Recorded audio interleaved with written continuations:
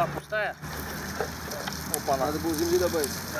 Засучив рукава и вооружившись лопатами, так работники органов исполнительной власти сегодня начали свое утро. Представители аппарата президента, кабинета министров и госсовета трудились над озеленением парков. Только в сквере Вахитовске они посадили 400 саженцев. Для озеленения парков выбрали европейскую ель, обыкновенную рябину и мелколистную липу. Они себя хорошо чувствуют, и приживаемость у них э, высокая, конечно же, от более таких, там, так скажем, других культур, Э, поэтому мы их и стараемся высаживать. А вот самая массовая посадка деревьев прошла сегодня в селе Старое Шагалиево Пестричинского района.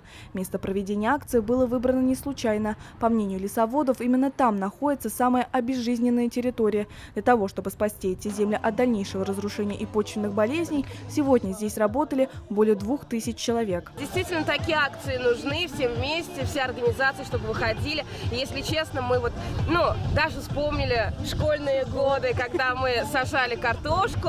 Это очень весело. Все в едином порыве, все как один, не покладая рук.